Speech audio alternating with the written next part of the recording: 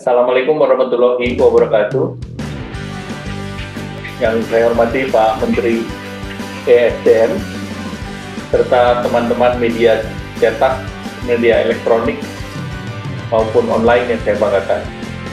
Terima kasih telah hadir secara virtual dalam konferensi pers pada sore hari ini.